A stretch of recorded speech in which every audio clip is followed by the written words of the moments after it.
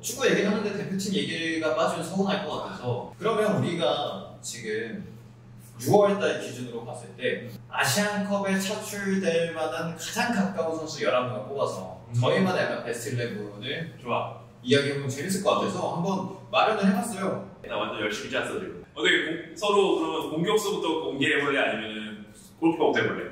한 명은 골 밑에서부터 올라가고 한 명은 위에서부터 내려오죠.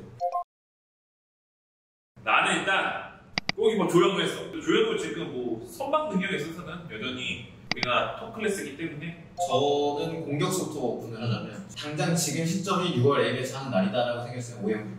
일단 시즌 막바지에 폼도 좋았고 당연히 빠질 수 없는 두 명. 이제 손흥민과 이강인 둘을 배치하고 어 이강인 공격수 아니야? 공격수라기보다 이제 오른쪽 윙으로 어. 배치를 해놨는데 손흥민이 왼쪽 두고 그 다음에 한 자리를 황희찬과 이재성 중에 고민을 했는데 전 이재성을 택했습니다.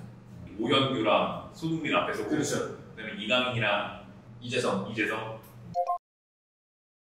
그러면 나는 이번에 수비수를 얘기하면 수비수가 4명 한꺼번에 얘기할게. 네. 이기재, 김민재, 박지수, 그다음에 안현범. 뭐 수원 삼성의 성적을 떠나서 이기재 개인은 뭐 못한다고 말하기는 어렵고 잘하고 있고. 김민재 성적 설명 내가 생략할게. 박지수는 지금 포르투갈 예전에 이승우 잠깐 못 나갔던 그 포르투갈에서 뛰고 있는데 어쨌든 거기도 뭐 포르투갈 1부 리그 팀이고 거기서 지금 주전이야 가져오라. 음. 계속 최선을 다해서 꾸준한 경기 나오고 있고 클린스만 감독이 좀 뭐 최대한 넓게 본다고 했었고 아무래도 유럽에서 뛰는 선수니까 더 데이터가 있을 것 같아서 안현범은 그리고 지금 K리그에서 잘하고 있어 안현범도 이제 나이가 마냥 어린 선수가 아닌데 스피드가 여전히 살아있더라고 음. 팍팍팍 잘 치고 올라가 아, 더, 더 올라온 거죠? half space로 가면 되게 빠르게 치고 들어가서 거기서 탁 위에 크로스 올려주면 선수를 잘 받아먹더라고 맞아요. 근데 그게 스피드가 돼야 하잖아 패스 거 읽어야 되는 경우는 음. 그런 점에 있어서 안현범 괜찮은 것 같아 지금 저는 이제 뭐 3선을 미드필더를 말씀드리면 저는 황인범은 당연히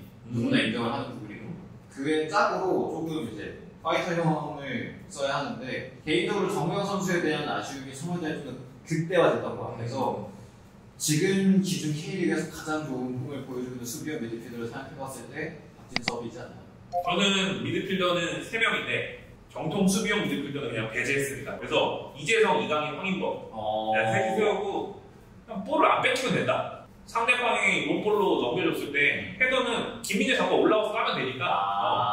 그래서 이강인, 이재성, 황인범 3명 놓고 진짜 발짓을 제일 잘 쓴다는 3명만 놓고 음. 볼 뺏기지 말고 옛날에 그냥 바르셀로나처럼 하면 된다. 저는 이제 수비수를 말씀을 드리면 일단 왼쪽은 김진수 선수. 자타공이 우리나라에서 절대 이제 빠질 수 없는 어. 국가대표 왼쪽 풀백이라고 생각하기 때문에 물론 아쉬운 면도 있지만 이 선수를 대체할 만한 지금 국내 자원은 없다. 또 한 자리는 김민재 선수 뭐 진짜 할말더 해놓고 서울의 어린 둘 중에 한 명. 이한범이랑 김두성 둘 중에 한 명. 오른쪽은 설명호 선수. 지난 3월에도 발탁이 됐지만 또 경기를 못했단 말이에요. 근데 이번에 그 기회를 받을 만한 약간 절호의 기회가 왔다고 생각하는 게 김문환 선수도 지금 부상으로 빠질 그치. 위기에 처했거든요.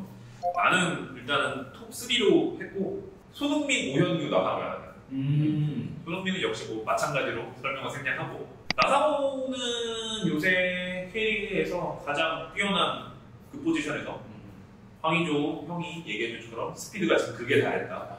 그냥 그대로 쓰면 될 것 같아.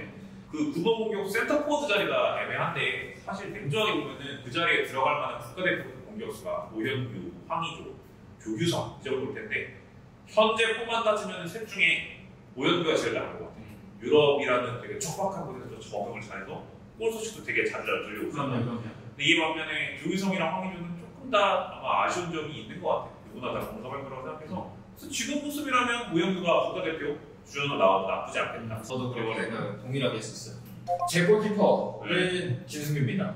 그리고 클린스만 감독도 이제 데리고 온 골키퍼 코치를 봤을 때 물론 당연히 선방능에 중요하죠. 페프케 코치. 하지만 발기술을 선으로 안할 수밖에 없어요. 그래도 아직까지 만약에 6월달에 두 경기를 한다 아니면 뭐 큰 대회를 나간다 하면 첫 경기는 김승규 때문에 시청자 여러분들께도 다시 말씀을 드리지만 6월달 기준 한정 지금 만약에 당장 아시안컵을 한다면 베스트 11 어, 네. 대한민국 국가대표팀 선수들 한번 선발해 다음 봤습니다. 달쯤에 또 바뀔 수도 있습니다.